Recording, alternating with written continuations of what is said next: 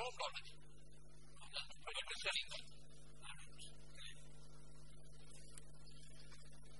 ඔබගේ කරනවාද වෙනද මාධ්‍යංශයේ වැදගත් පාඩක් කියන තියෙන අවස්ථාවක පොඩි කෑල්ලක් ගෙනල්ලා ලොකු දෙයක් කරන ශ්‍රේෂ්ඨ කරනවා කියලා පෙන්නගෙන කතාවක් කරලා තියෙනවා.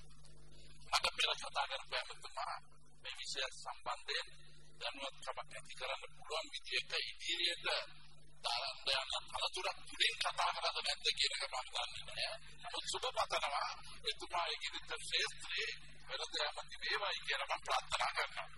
දැන් මතක තියාගන්න මම අදයි කියලා තියෙන්නේ. ඊට පස්සේ අහන්නේ මම කොහොමද දැනගත්තේ කියලා. ඒක කමන්නේ. හැබැයි අද මේ වෙනද ප්‍රාර්ථ කියන්නේ අපේ මගේ දේශපාලන ගුරුවරයා ලලිත අත්වත් මුද්‍රික 1900 ඇත්තටම අංක හතරේ පන්තියක් ගෙනල්ලා මේක සංශෝධනයට මම හිතන්නේ යොමු වෙලා තියෙන අවස්ථාවක තාම ඒක ඇදගෙන යන එක තමයි තියෙන අපරාධය. වෙනද ශ්‍රේෂ්ඨී කියන රටක් හදන්න හරි නැති කරන්න පුළුවන් අමාත්‍යංශ. ඒක තුල වෙනද ශ්‍රේෂ්ඨී අපි දීලා තියෙන වටිනාකම. මම මේ කරනවා රිසර්ච් පටුටින් වගේ මම හිතන විදියට එතුමා ශ්‍රේෂ්ඨී සම්බන්ධයෙන් දැනුවත්කමක් එතන ප්‍රායෝගික දැනුවත්කමක් නැතුණත් බොහොම වේසමාන්තේ වැඩ කරන එක අපි අගය කරනවා. ආකාර වෙනම දෙයක් නමුත් මේ කරන වෙනද ශ්‍රේෂ්ඨ සම්බන්ධයෙන් ඉතාමත් වෙනස මාංශය ඒ කරන දේ පෙන්වන පුළුවන් තරම් විදේශිකයෝ තරකට ගෙනගෙන ඒ ආයෝජකය පිළිපත් කරගෙන ඒ වැඩ කිරීම සම්බන්ධයෙන් මම හිතපු වෙන දඩ ඉවරෙක් පස්සේ මම මෙතන කියන්න ඉතින් කරන ගමන්ම නමුත් මේ ගැන තියෙන්නේ වෙන ශ්‍රේෂ්ඨ පුටි කෑල්ල හත්තිපතයිස් පුටි කෑල්ල කල්ලගෙන ඔන්න අති අතිගරු ජනාධිපතිගේ උපදේශ අනුකූලී කියන එක වෙනස් කරලා දෙපා. මෙතන මොනවද කරලා තියෙන්නේ? මේ සෙස් එක දෙක තුනක් එකතු කරලා මේකේ වෙනස් සෙස් වෙනස් කරන්න පුළුවන් නම් එහෙනම් මේ ශ්‍රී ලංකාව 107 වර්ධන වේගය 170 විතර වර්ධන වේගයක් තියෙනවා නමුත් මොනවද මෙතන තියෙන අද මම මේ මතක මතක් කරන්න කැමතියි ලලිත අත්‍රොත්මුදලි මේ පනත ගෙනාව අවස්ථාවේදී වටිනාකම පෙන්වලා දුන්න ජනාධිපති මේ එක්ස්පෝර්ට් කවුන්සිල් එකේ සභාපති කරලා තිබෙනවා මම ඔබතුමාගෙන් අහනවා ඔබතුමා මේ අමාත්‍යංශ දරලා ඇති අවුරුදු එකමාරක් විතර ජනාධිපති මේ සම්මේ මේ එක්ස්පෝර්ට් කවුන්සිල් එකේ ඉක්මනක්වත් ඇවිල්ලා තිබෙනවා.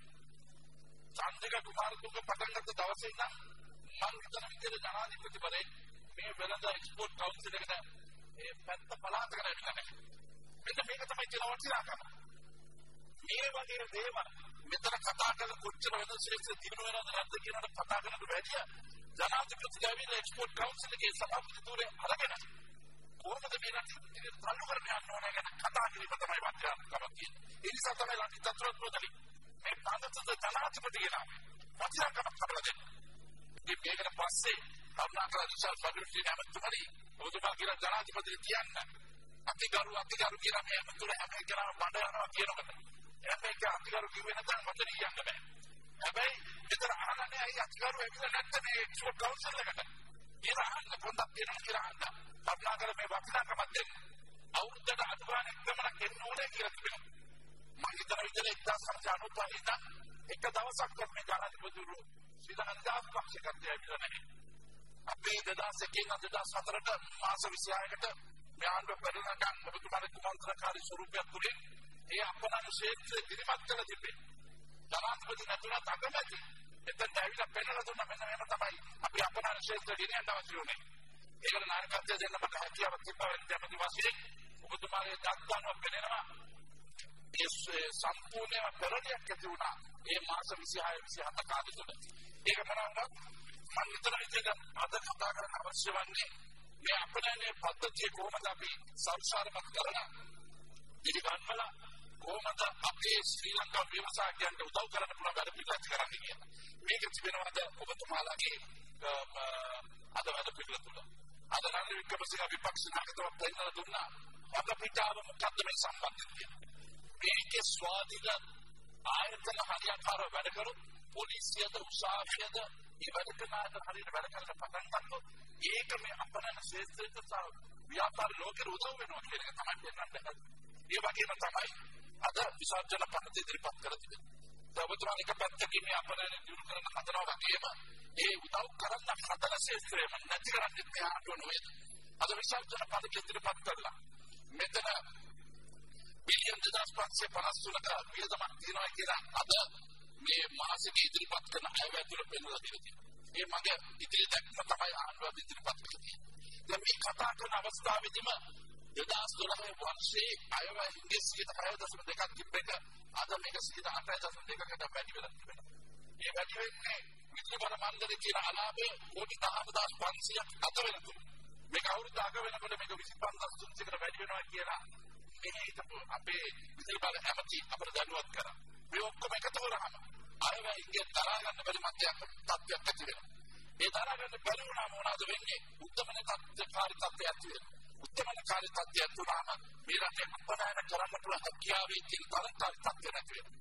මෙන්න මේක තමයි අපි වෙනද ශ්‍රේෂ්ඨ ජීවන කරන්න අවශ්‍ය වෙන්නේ. මෙතන ඇවිල්ලා මේ ආණ්ඩු කොච්චර හොඳද කරනවද? අධිකාරු ජනාධිපති උපදේශ පත්‍රය කරනවා කියන එක මම හිතන්නේ ජනාධිපතිවත් අවශ්‍ය නැහැ කියලා එක දවසක් මම හිතන්නේ දවස් දවසක් කියලා තිබ්බා. මට ඕනේ ප්‍රශස්ත කී කියන එක නෙවෙයි කරන්න තියෙන දේ හරියට කියන එක තමයි අවශ්‍ය වන්නේ කියලා කිව්වා. මම හිතන්නේ මම විපක්ෂෙන් මතක් කරනවා ඒ අවුරුදු තුනක ඉස්සරහ දවස් දවසේ කියපු දේ. ඔබ මේ වගේ බොරු වැඩ කතා කරන්න කියලා අද රටේ අපේ අපරාධ ශ්‍රේෂ්ඨ සම්පූර්ණයෙන්ම නැති වෙලා තිබෙනවා. මෙතනද වැඩ කරන අමතෝලෙක් වශයෙන් වෙල්කම් ඇමතුමනි අද ඇඟලු කර්මාන්තය මේ රටේ 173ක් තිබ්බක අප 151කට අඩු වෙලා තිබ්බා. එක්සත් ජාතික පක්ෂ කාලේ ඇඟලු කර්මාන්ත 600 684ක් තිබ්බක අද 238කට අඩු වෙලා තිබෙනවා. මේ සම්බන්ධයෙන් කවුද වග කියන්න අවශ්‍ය වන්නේ? සියලුම ශ්‍රේෂ්ඨම ප්‍රශ්න තිබෙනවා. රටේ ප්‍රශ්න තියෙනවා වගේම ලෝකේ ප්‍රශ්න තිබෙනවා. නමුත් ලෝක ප්‍රශ්න තිබ්බයි කියලා අප රටේ ප්‍රශ්න නැහැ කියලා කතා කරන එක බොරු කරන එක තමයි තියෙන ලොකු අපරාධය. අනේ සම්බන්ධයෙන් අපි සියලුම ජාතික ප්‍රතිපත්තියක් වල ශ්‍රේෂ්ඨ අවශ්‍යයි. ඒක කරන්නම අවශ්‍යයි. මම හිතන්නේ මේ වගේ අවස්ථාවක් තමයි හොඳම මේ වගේ ජාතික ප්‍රතිපත්ති ඇති කරලා ඒක තුළ ඉදිරියට ගමන් කරන්න වාතාවරණය ඇති කිරීම. මම මේ සම්බන්ධයෙන් මතක් කරන්න කැමති වන්නේ කරුණු දෙක තුනක් ඇතුළත දැන් අප ව්‍යාපාරිකයෙක් ලංකාවේ තමාගේ කෝටි දෙකට තියෙන ධනගහනය තුළ ලේසි නැහැ ව්‍යාපාරයක්. ඒ නිසා තමයි ජාත්‍යන්තර ශ්‍රේෂ්ඨක අපි අපරාධ කරන්න බාරන මේ අපේ ක්‍රිටිකල් මාස් එක. මේ සම්බන්ධ තරකාරී තත්ත්ව අවශ්‍යයි.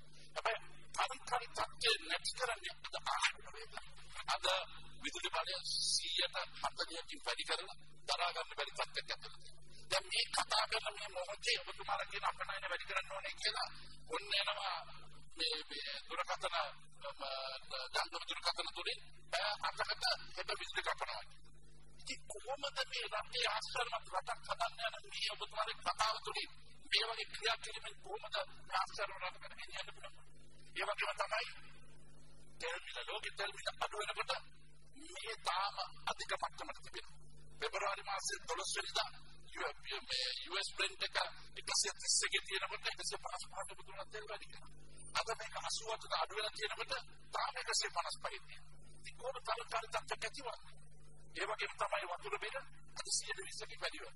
දැන් වතුර සම්බන්ධයෙන් අධීක්ෂණය කරන හරියමති ලේස්පුර වතුර කියනවා මේක නාස්‍ය නැති කරන්න වැඩි කිරීමක් කියලා. නාස්‍යද නැත්නම් ඔක්කොම අදක්ෂතාවය නිසා ඇති වෙන දේවල්.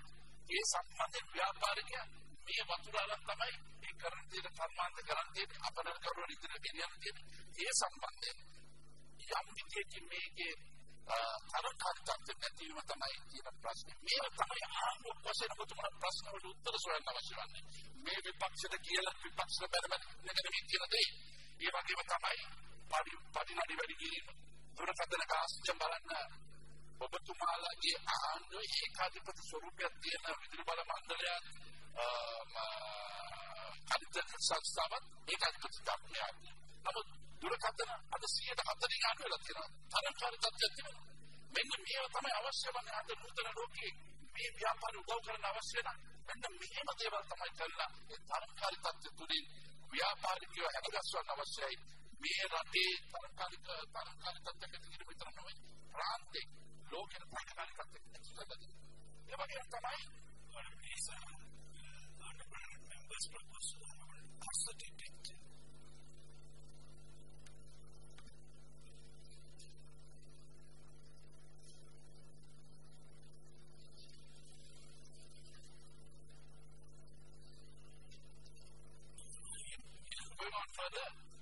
if you can't cut down costs, then your next one is increasing selling prices. But this is a more difficult proposition. මිල වැඩි කිරීම ලේසි කාර්යභාරයක් නෙමෙයි. නමුත් ඒක කළ යුතු දෙයක්.